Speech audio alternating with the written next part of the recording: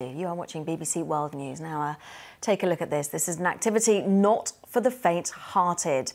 Now, these divers in a shark cage got much more than they bargained for. This video was caught on camera by Brian Plummer. It was his first time shark diving and maybe his last.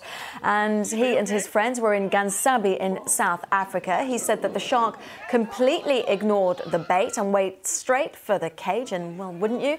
The diver inside had only just got married the day before. Luckily, he managed to avoid the shark's teeth and escaped unharmed.